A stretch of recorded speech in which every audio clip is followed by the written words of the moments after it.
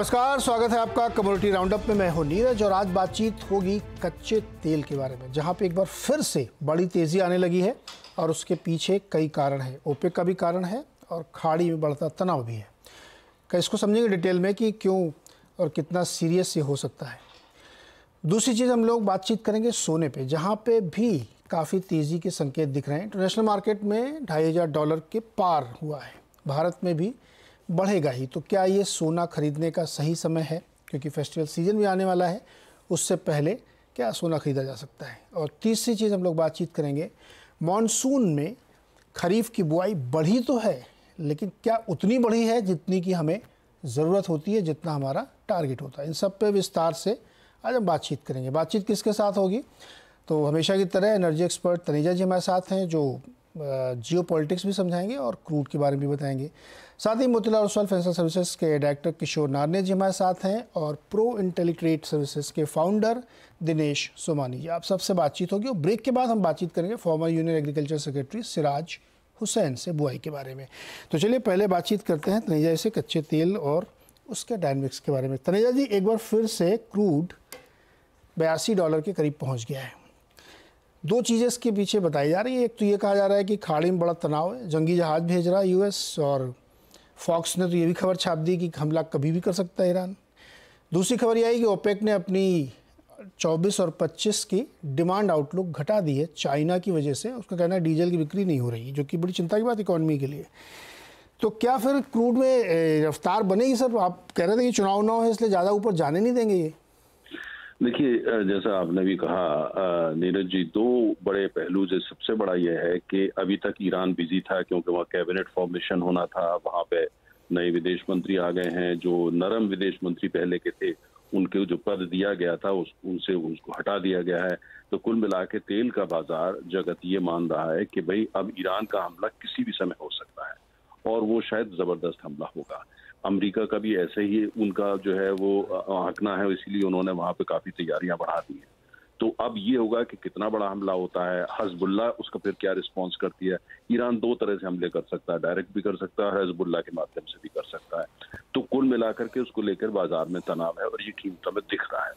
दूसरा जिसका आपने ज़िक्र किया है कि चीन के बारे में लगातार मैंने भी आपके कई कार्यक्रम में कहा है कि चीन की अर्थव्यवस्था जो है काफ़ी परेशानी में है और ये साफ़ उनको दिख रहा है जिस हिसाब से वहाँ पे जिस तरह का डेटा निकल के आ रहा है और जिस हिसाब से रियल इस्टेट से लेकर के और सारे सेक्टर वहाँ परेशानी में हैं।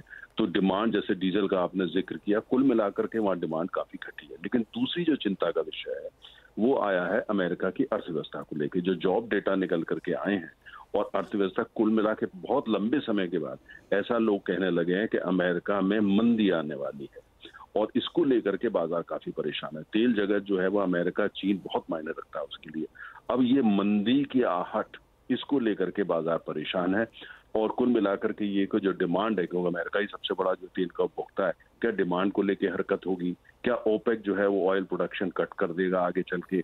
ये कुल मिलाकर के ये तनाव आपको बाज़ार में दिख रहा है। लेकिन मुझे ऐसा लगता है, जब तक सारी रियलिटी सामने नहीं आती है, खासतौर से ईरान को लेकर के तो हम्म। चीन का तो अभी यही रहेगा स्थिति अमेरिका की स्थिति ये रहेगी लेकिन ईरान का क्या रिस्पॉन्स होता है इसके बाद ही थोड़ा सा क्लैरिटी आएगी लेकिन तेल बहुत ऊपर जाएगा बहुत नहीं जाएगा आज के हालात जो दिख रहे हैं उससे मुझे नहीं लगता है कि ऐसा कुछ होने वाला है जा सकता है पिचासी भी नब्बे भी छू सकता है पिचहत्तर भी जा सकता है लेकिन कोई जब तक कि ईरान की स्थिति स्पष्ट नहीं होती हजबुल्ला और इसराइल की नहीं होती अभी एकदम कहना मुश्किल, लेकिन जैसे मैंने पहले भी कहा था, अमेरिकन की राष्ट्रपति बिल्कुल पक्का है, तेल को वो सस्ता रखने, रखेंगे, तेल महँगा होता है तो वहाँ पर कमला हैरिस जो है वो चुनाव नहीं जीत सकती, ट्रंप साहब ही जीतेंगे, ये फिर पक्का ही हो जाएगा। तो कोशिश पूरी अमरीकी सरकार की, लेकिन ये वो अमरीका नहीं है, जो आठ साल या दस साल पहले होता था, ये कमज़ोर अमरीका है, सऊदी अरब भी नहीं सुनता, ईरान भी नहीं सुनता, तमाम देश नहीं सुनते तो जियो की ये भी एक नया यथार्थ है। दो दो क्लैरिफिकेशन और चाहिए था मुझे आपसे एक क्लैरिफिकेशन ये चाहिए कि खाड़ी में कुछ हो सकता है या सिर्फ़ माहौल बनाने वाला है देखिए, खाड़ी का अगर आप इतिहास उठा करके देखें तो लगातार खाड़ी जो है पिछले 40 साल से वहाँ कुछ ना कुछ हो रहा है और जो। माहौल बनाने की कोशिश थी, वहाँ शांति आ जाए, वहाँ अमन हो जाए, वहाँ पे अब्राहम एकॉर्ड हुआ, वहाँ पे आपने देखा जो भारत और इसराइल यूरोप, अमेरिका ने मिलकर आईमैक की बात करी इकोनॉमिक कॉरिडोर की सऊदी अरेबिया में रिफॉर्म से लेकिन उसके बावजूद वहाँ वहाँ कहीं ना कहीं आग लगी रहती है। और इस बार जो आग लगी हुई है ये काफ़ी बड़ी है। मैंने ये काफ़ी चारों तरफ़ जो है उसका माहौल ऐसा है। लेकिन जो हम्म। जो चीज़ें रोक रही है वो ये रोक रही है कि ईरान इस स्थिति में नहीं है कि बहुत बड़ा जवाब दे और उसके जो दो मित्र हैं रूस और चीन वो भी काफ़ी हद तक उसका हाथ पकड़ रहे हैं। लेकिन उसके बावजूद ईरान को कुछ तो करना पड़ेगा।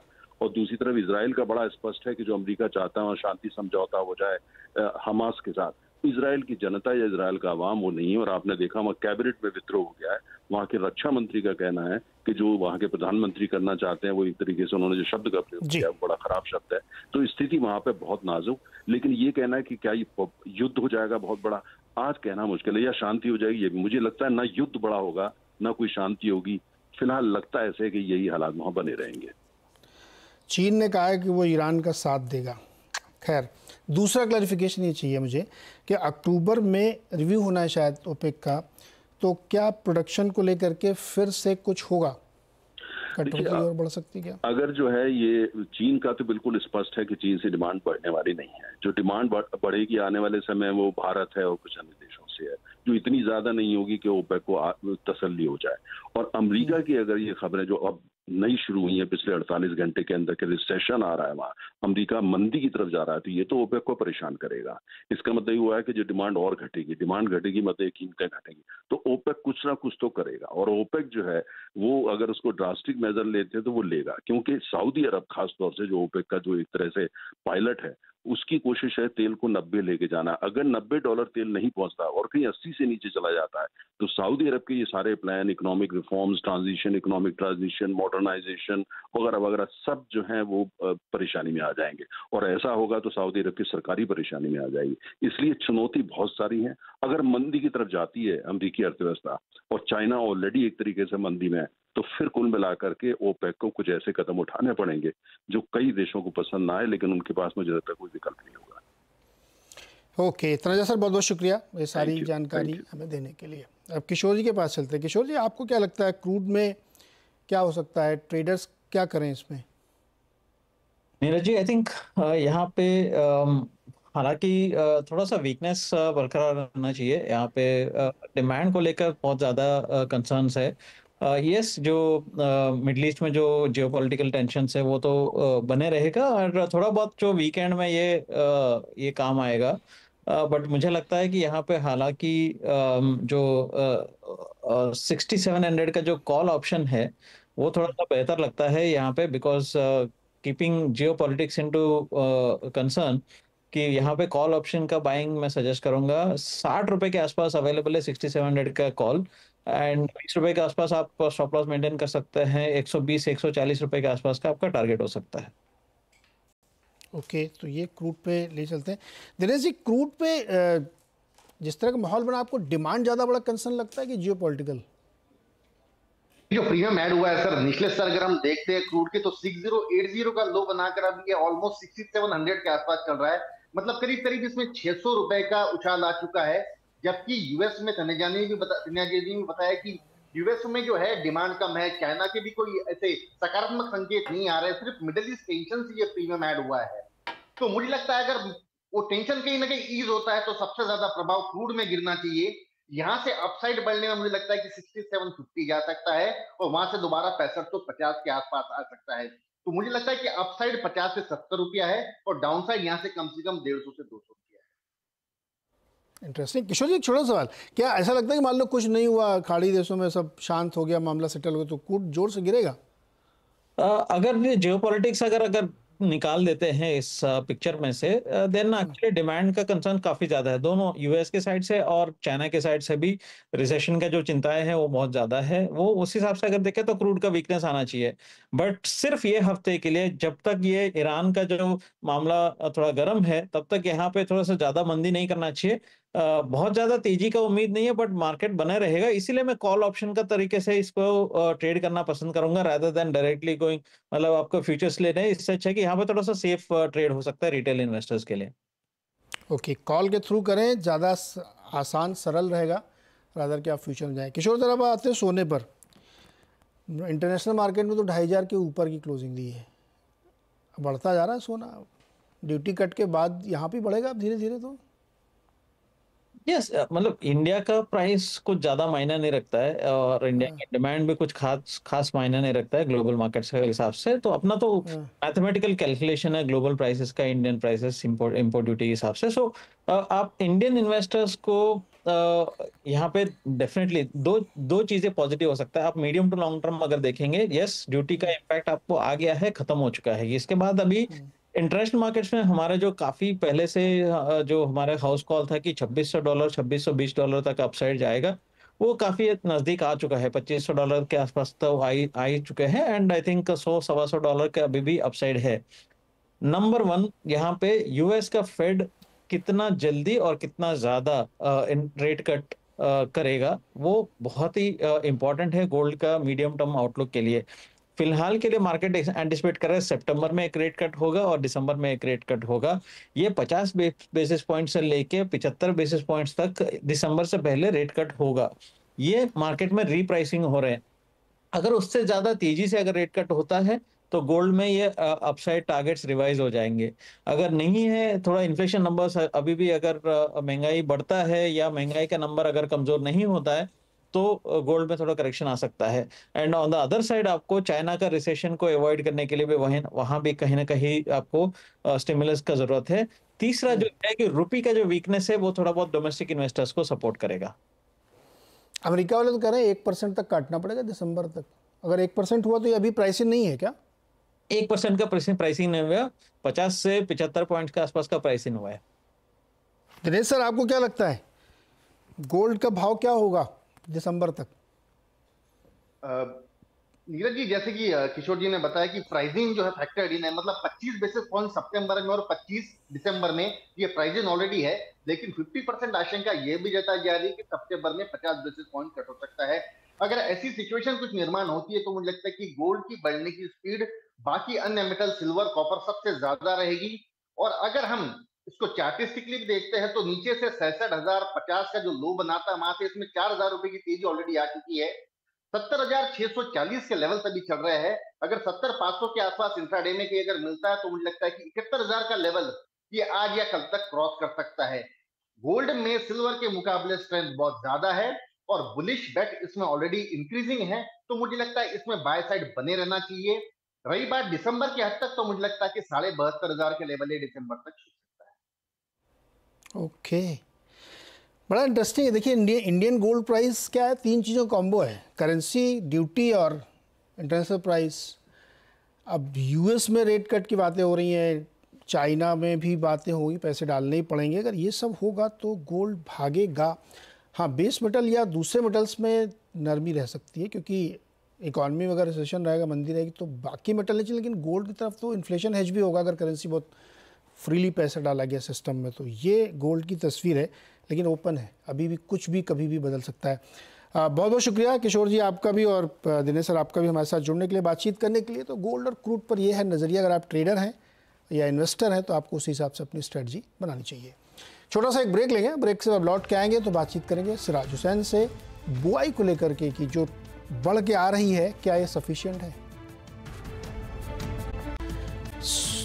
स्वागत एक बार फिर से और अब बातचीत करें कुछ एग्री कम्युनिटीज़ पर। दिनेश जी हमारे साथ जुड़े हुए थे सर, ये बताइए कि इस समय जो टॉप ट्रेड अगर लेना है तो स्पाइसेस में कहाँ सबसे बढ़िया ट्रेड बन सकता है? मसालों में अगर देखें तो हल्दी एक ऐसा काउंटर है, जहाँ पर अराइवल्स एकदम ड्राई हो चुकी है सोइंग ऑलमोस्ट कंप्लीट हो चुकी है, तीस पैंतीस परसेंट सोइंग बढ़कर है, लेकिन इसमें कैरी फॉरवर्ड स्टॉक काफ़ी कम है। तो मुझे ऐसा लगता है कि सोलह हज़ार, ये मैं अक्टूबर कॉन्ट्रैक्ट की बात कर रहा हूँ सोलह हज़ार दो सौ सोलह हज़ार दो सौ पचास के आसपास मुझे लगता है कि इसमें खरीदारी की जा सकती है। सत्रह हज़ार तीन सौ के लेवल्स हमें एक हफ़्ते से दस दिन के भीतर देखने मिल सकते हैं। पंद्रह सात सौ का इसमें स्टॉप लॉस मेंटेन करना चाहिए। हल्दी अन्य काउंटर के मुकाबले मुझे काफ़ी स्ट्रॉन्ग लगती है। जीरा कमज़ोर लगता है और धनिया भी कमज़ोर ही लगता है। में क्या ट्रेड बनेगा इस वक्त? किस चीज़ पे सर? जीरा जीरा। जीरा। जीरा मुझे लगता है कि छब्बीस हज़ार दो सौ सितंबर कॉन्ट्रैक्ट छब्बीस दो सौ, छब्बीस दो सौ दो सौ पचास के आसपास मुझे लगता है कि सेल करना चाहिए। पच्चीस दो सौ के लेवल्स डाउन साइड हमें देखने मिल सकते हैं और छब्बीस आठ सौ का इसमें स्टॉप लॉस मेंटेन किया जा सकता है। ओके दिनेश सर, बहुत बहुत शुक्रिया जुड़ने के लिए। चलिए बातचीत करते हैं सोइंग के बारे में। अच्छी बारिश के कारण देश में खरीफ की बुआई ठीक ठाक हो रही है और पिछले साल से कुछ बढ़ के आई है। लेकिन आंकड़ों को अगर डिटेल में देखें तो ये सिर्फ़ एक परसेंट बढ़ी लास्ट ईयर से। हालाँकि धान और दलहन की बुआई में थोड़ी ज़्यादा तेज़ी लेकिन कॉटन में गिरावट पिछले साल से ही नहीं, बल्कि पिछले हफ़्ते से एक परसेंट बढ़ी है। सरकार इस साल ज़्यादा उत्पादन की उम्मीद कर रही है। ऐसे में सवाल उठता है क्या ये लक्ष्य पूरा हो पाएगा? और इस बात पर ज़्यादा बातचीत करते हैं हमारे साथ पूर्व कृषि सचिव सिराज हुसैन जी सिराज सर बहुत बहुत स्वागत है आपका। थोड़ी सी बढ़त की क्या आंकड़े तो दिख रहे हैं, लेकिन क्या ये सफिशियंट है या सरकार जो टारगेट लेके चल रही है, ज़रूरत के लिए ठीक ठाक है ये?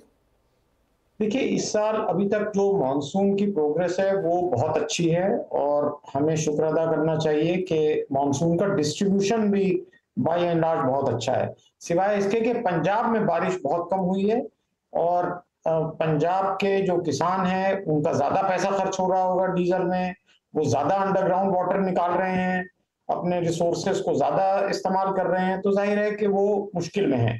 हरियाणा में क्योंकि इलेक्शन होने वाले हैं इसलिए हरियाणा गवर्नमेंट ने थोड़ा सा इंसेंटिव सारी खर, सारे खरीफ किसानों को दिया है लेकिन वो उसी तरह का इंसेंटिव पंजाब में नहीं दिया गया है। और अच्छी बात यह है कि पिछले दो हफ़्ते में बिहार बंगाल वगैरह में भी अच्छी बारिश हुई है। तो कुल मिला के हम कह सकते हैं कि खरीफ फ़सलों का उत्पादन जो गवर्नमेंट की उम्मीद है उसके मुताबिक होगा। अच्छा कॉटन में लेकिन सर गिरावट दिख रही है नौ परसेंट की। किसमें? कॉटन कपास। हाँ, ज़ाहिर है देखिए किसान ये असेस करते हैं कि उनको किस फ़सल के बेहतर दाम मिलने की उम्मीद है।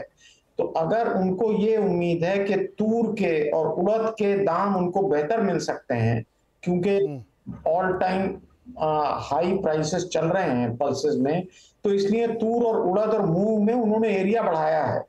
तो ये हम नहीं कह सकते कि किसानों का गलत फैसला है।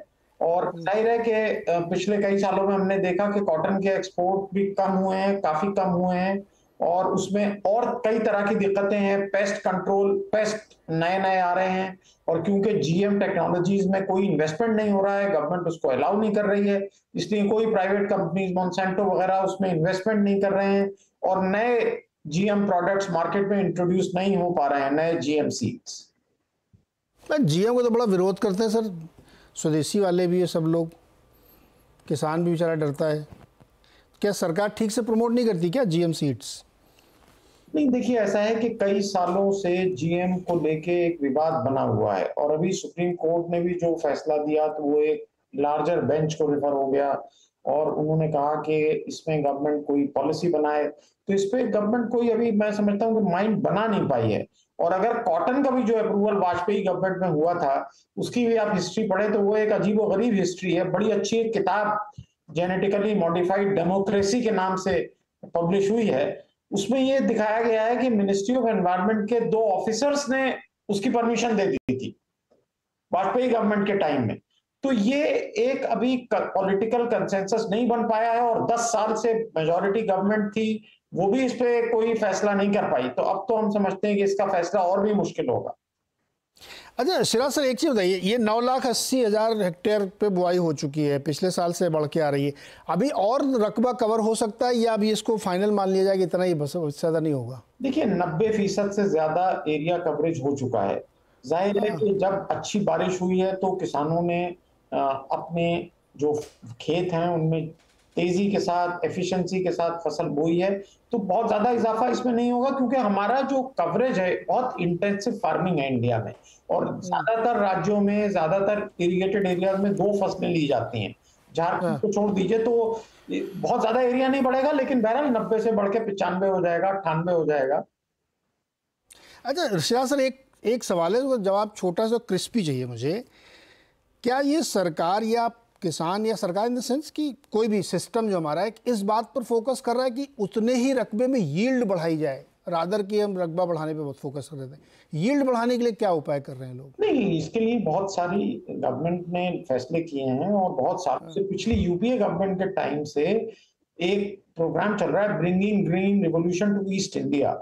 क्योंकि ईस्टर्न स्टेट्स में राइस की और बाकी फ़सलों की प्रोडक्टिविटी भी पंजाब वगैरह से तकरीबन आधी है।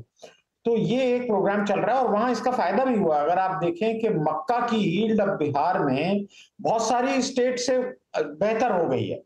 और कई जिलों में तो उनकी ईल्ड आठ टन पर हेक्टेयर तक आ गई है, मक्का की और इसमें क्योंकि प्राइवेट सेक्टर ने भी कंट्रीब्यूट किया है, उन्होंने नए नए हाइब्रिड सीड निकाले हैं तो आपके सवाल का जवाब यह है कि गवर्नमेंट इस सिलसिले में कोशा है गवर्नमेंट ने कोशिश की है और उसके अच्छे नतीजे भी निकले हैं।